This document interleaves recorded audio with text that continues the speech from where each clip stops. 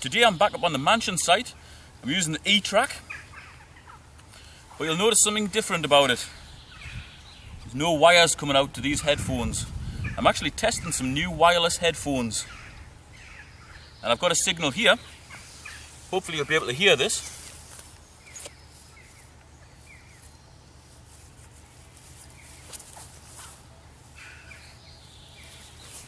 That's certainly loud enough in my head.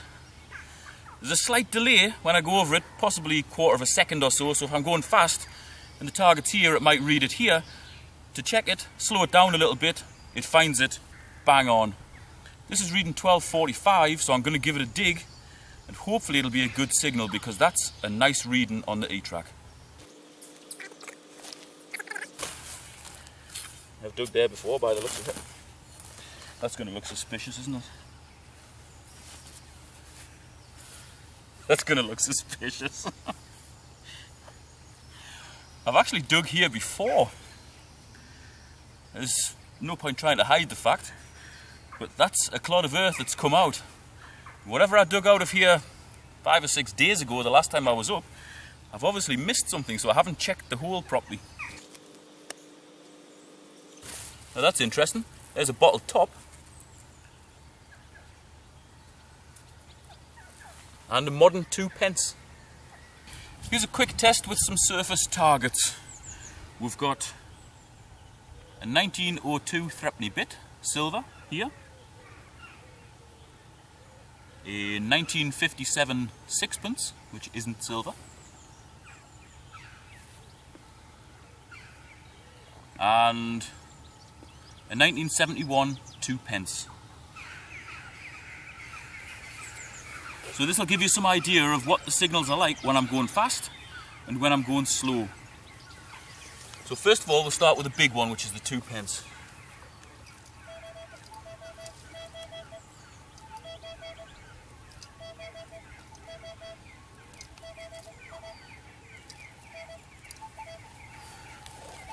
When I'm going fast, there's a little bit of a delay. It still picks the signal up perfectly, but there's a slight delay possibly around about quarter of a second or so. As soon as you slow down, bring the coil back slower, it picks the target up straight away, no problem at all. So the coin's here.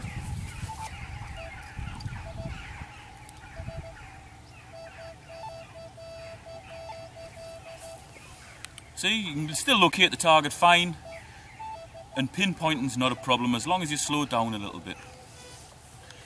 Now on to the sixpence.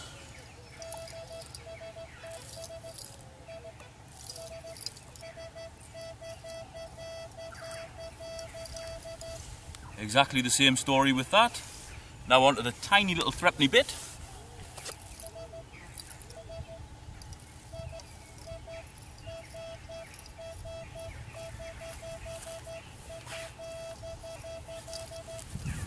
No problems at all. When you're digging hole after hole after hole on a site, there's no worse when you've got cables linking your machine to your head. You're putting this down, you're getting your spade, you're tripping over the cable. It's just awful. That's why I really fell in love with the Deus, because it's wireless. Now that the E-Trac is wireless, I think I might be starting to use it quite a lot more. I found another target here The target itself is actually here. If I go over fast, it reads it as about there. As soon as I slow down, it reads it exactly where it is. That little quarter second delay does make a difference. So you've got to slow down just a tiny little bit when you're looking for the target. But I'm very confident that the target is here. It's reading 1232, which is possibly small silver or halfpenny sort of territory or it could just be trash you never know. But I'm going to give it a dig. What I'm going to do I'm going to pass the headphones near to the camera so you can hear exactly what an in-ground target sounds like through the wireless headphones.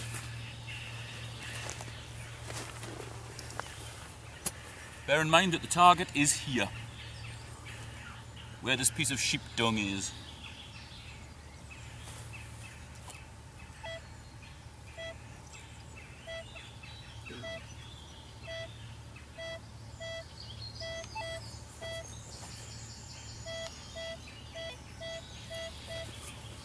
pretty sure it's just here. Big lump of plastic.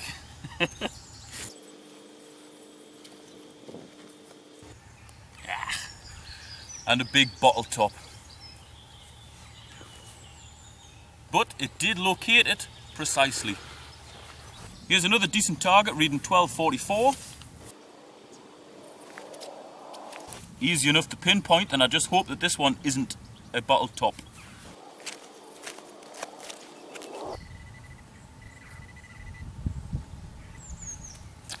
And it's a one pence. Here's another one just back from where I've dug. This is reading 1043. Again, pretty easy to pinpoint, just had to slow down a little bit.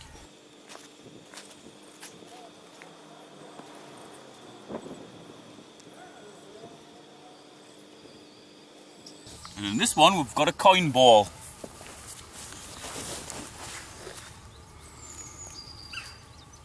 Please don't let it be a penny.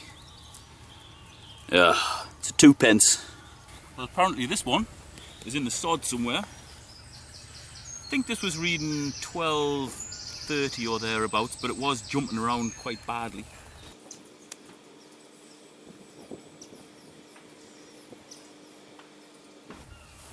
And I'm not quite sure what that is. Thought it was an earring. But I don't know. It's a very long dangly one if it is an earring.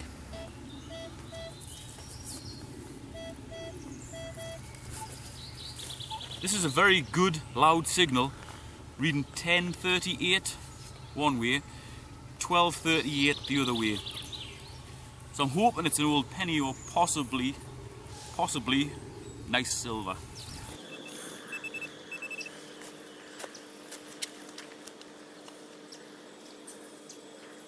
Ah! Another bottle top. This one's reading 1245. Picked it up no problem. Hopefully I've pinpointed it well enough as well. Should be here. Looks like another coin ball. So we'll see what's in it. Possibly pre-decimal? No. It's another modern two pence. And check out that imprint.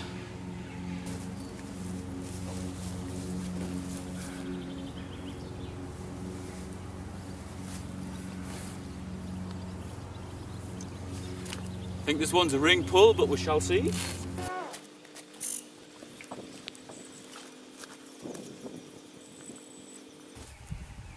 Small lump of lead. So I'll just briefly explain how this works. Under normal circumstances you would have a wire leading from here to your headphones which meant that it was a wired connection. So when you got a target and your spade was lying over there you'd have to put that down, take your headphones off, get your spade, come back. Here you don't have to.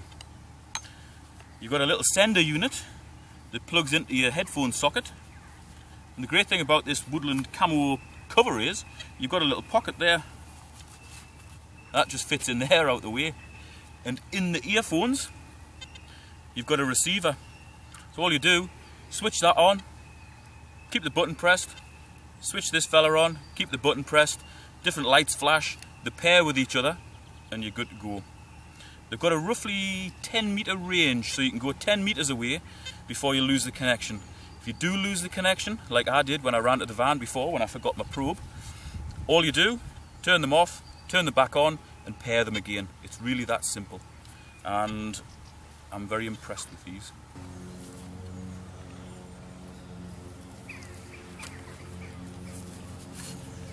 Reading 1318. Again, I think it's ring pull, but we'll see. Yep, another ring pull.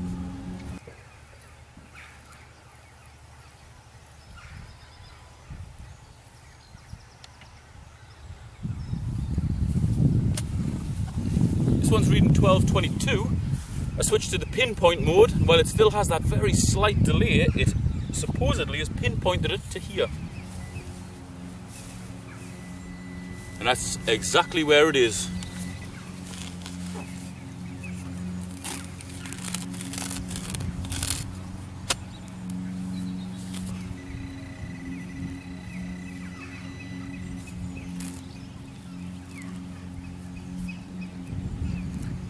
And it's yet another ring pull. that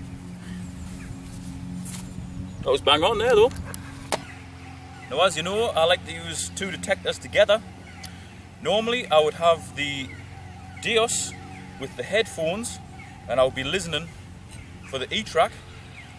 This time I've got the E-Trac with those new wireless headphones and the Deus just using the speaker. Hopefully this will work.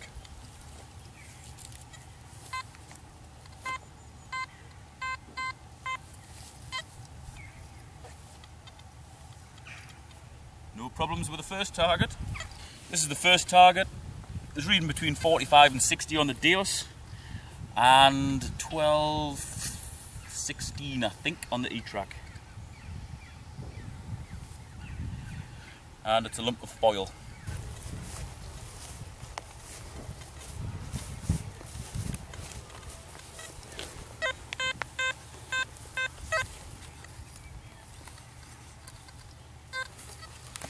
I think this one's just a ring pull as well. It's reading 10, 17 on the E-Trac and 65 to 67 on the Deus.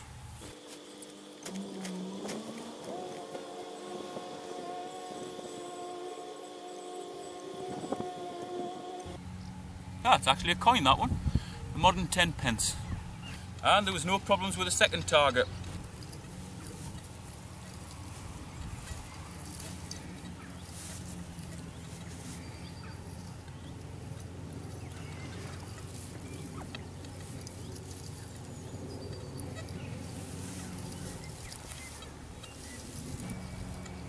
I like this signal.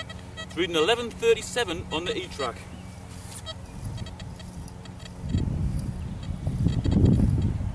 And it's reasonably constant that way as well. Here's what it sounds like on the Deus.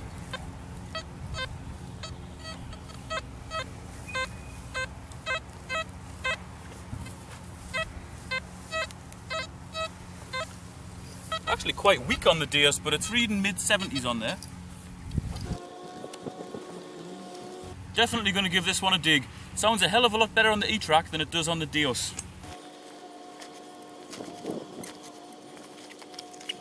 And because the Deus didn't really like that sort of signal, I think it might be deep, hence I'm going way down.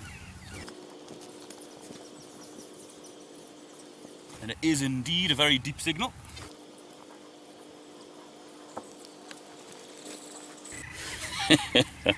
it's a rusty nail from Oh, about 10 inches down. Right, so we had iron from about 10 inches down here. We've also got a shallower target here.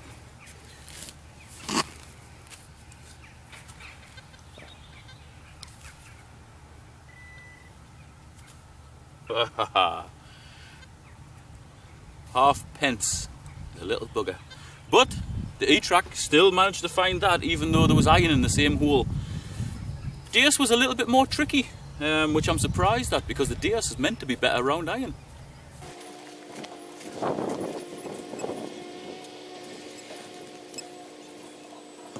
Yes, it is indeed another ring pull, but finding it with this wireless headphones isn't a problem. You do get that slight delay when you initially pick the signal up when you're swinging quite fast. Slow down a little bit and it locates it, no problem at all.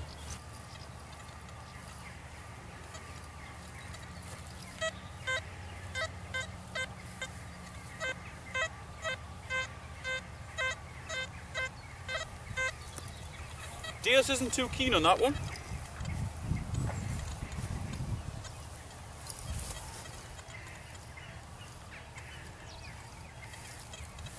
It's a little bit tricky on the E-Trac as well, but it's going to get dug. It's bouncing around the top quarter of the screen, but it's diving down into iron, so it's possibly something very deep or rubbish.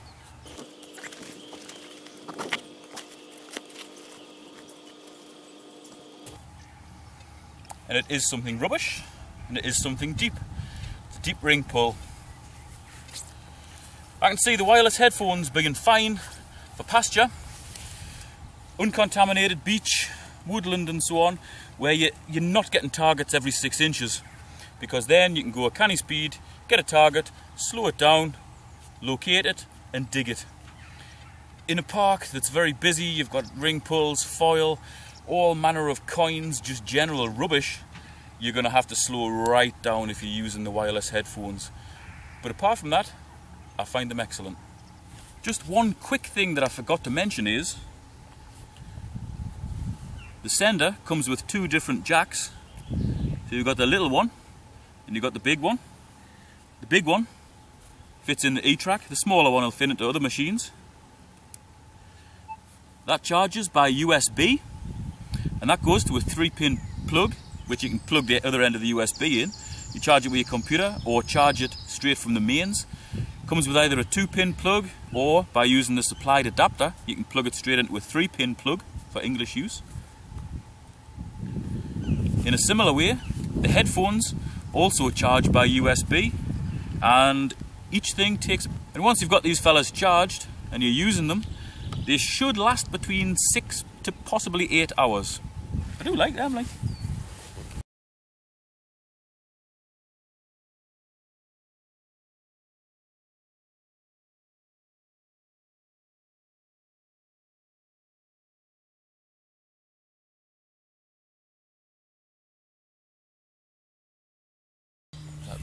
This is how bad my memory is. I can't remember setting it away to record. It is recording. Honestly, uh, it's shot. Absolutely shot. That's why there's so many out. I might have you as a client, yeah. I know. That's why there's so many outtakes. Like.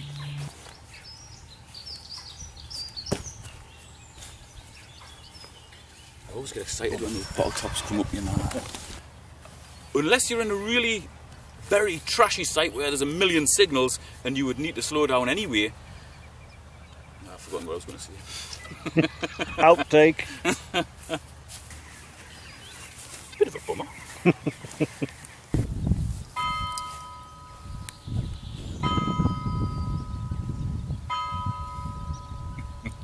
I've got to wait for that to strike 10 now. Just get rid of the lawnmower. I know, the lawnmower's gone now, the clock's mm. starting. It's like whenever I'm videoing anything at my place, the bloody pheasant comes and starts squawking off.